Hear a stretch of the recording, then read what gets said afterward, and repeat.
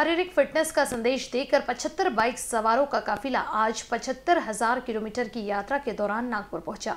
नागपुर के खेल जगत में इन वीर यात्रियों का उत्साहपूर्वक सम्मान किया गया। यह कार्यक्रम केंद्र और राज्य सरकारों द्वारा स्वतंत्रता के अमृत महोत्सव के तहत आयोजित किया गया था। भारतीय स्वतंत्रता के अमृत महोत्सव के अवसर पर भारतीय खेल प्राधिकरण और अखिल भारतीय मोटरसाइकिल अभियान एआईएमई के सहयोग से कुल पचहत्तर बाइकर्स देश के ऐतिहासिक स्थलों का भ्रमण करेंगे और इस रैली के माध्यम से देश में एकता और संस्कृति का परिचय देंगे।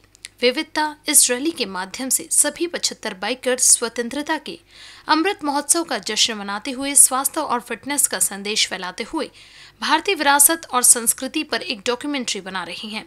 यह अभियान कुल 75 दिनों के लिए है और देश के 34 राज्यों और केंद्र शासित प्रदेशों में कुल 21,000 किलोमीटर की दूरी तय करता है। यह अभियान क्षेत्र में चलाया जाएगा। और आज हम ये डे 51 है हमारा आज।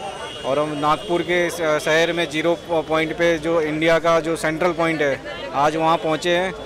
और आज हमारा 51 डे और ये जो पूरी राइड शुरू हुई थी 9 सितंबर को दिल्ली से। जो श्री अमित शाह जी ने इनका फ्लैग ऑफ़ किया था। और ये पूरा राइड जो है, इसको 75 आज़ादी का अमृत महोत्सव के बैनर में हम इसको सेलिब्रेट कर रहे हैं पूरे भारत देश, भर, देश में। और इसी का बेस पे हमने पूरी थीम है जो पचहत्तर राइडर है, जो अलग अलग स्टेट से पचहत्तर दिन के लिए राइड होगी और पचहत्तर इवेंट्स होगी जिसमें हम मेन हमारा फिट इंडिया और यूनिटी विथ डाइवर्सिटी का मैसेज पास कर रहे हैं। और आज इसी के थ्रू हम एक रोड सेफ्टी यहाँ से कल हम हैदराबाद करेंगे, जाएँगे, तेलंगा स्टेट में शुरू करेंगे। सो अभी तक हमें नॉर्थ और नॉर्थन नॉर्थ ईस्ट का पार्ट कवर कंप्लीट कर लिया है। और आज कल से हम साउथर्न पार्ट में एंटर करेंगे। पचहत्तर प्रोग्राम हमारा हर जगह मोस्ट फिट इंडिया को प्रमोट कर रहा है क्योंकि इस फिट इंडिया के अंदर में हो रही है।